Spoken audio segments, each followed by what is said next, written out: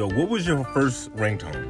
Okay, let's just just think about that for a second. I, I won't judge you because I can guarantee you your first ringtone was not worse than mine. I'm not even sure if I want to tell you what mine was because I'm, I'm I'm thinking about it. I'm fucking embarrassed. Well, ringtones was like a step up from the voicemail music. Remember that when you would leave uh, the music behind your voicemail? Yeah, you reach Desi.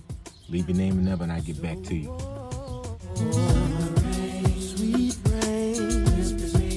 That's right. My first voicemail song was called Thomas Summer Rain. I had, I had chicks calling. I'm, I'm, sorry, I had women calling. But there was a small amount of y'all, a little, a little small elite group of dumbasses that had ringer ringtones. Like ringtones wasn't enough. Like you had to take it a step further. So when somebody call you, you don't hear the phone ringing.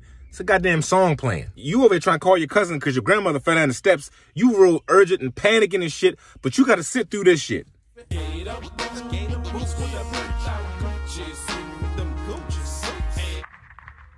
Hey man, um, Grandma the steps, man. She in the hospital about to die. Can, can, you can you take that off your phone, please? That that song while it's ring. Cause you gotta think when ringtones first came out, like it was them polynomic songs. You remember that shit? And the thing is, you Nextel niggas thought y'all was better than everybody, and y'all and y'all could only get polynomic ringtones. Y'all had the chirp, y'all had the big ass flip phones and shit. They was durable.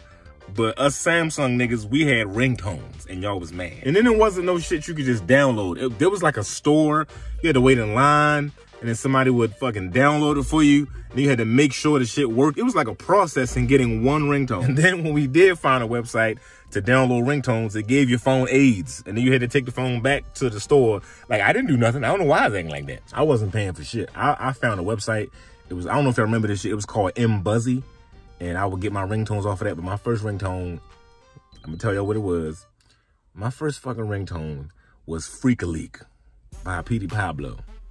And it wasn't like the song, it was a polynomic song. Like it sounded good when I first like downloaded it. And I was in my freshman year of college. And somebody called me and I was like, I'm gonna let it ring so everybody hear the ringtone. And mind you, the class is just quiet.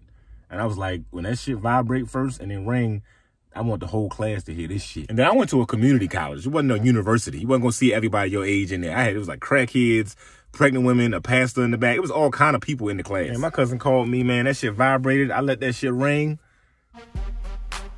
The fuck is that? Why is somebody playing Freak a Leak in the damn? Excuse me, can you turn that off, please? Can you cut that off? Nigga, clown. Shit was so stupid. Sorry. I said, man, I'm gonna download ringtones when they upgrade the technology because this shit right here is embarrassing. I tell you what else is embarrassing: not having your tickets for the next comedy show at the Improv in Orlando. Me and my sister Jess gonna rock out. I want to see y'all at the show, uh, November 5th and 6th. Get y'all tickets on the website right now. I'll see y'all soon. Orlando.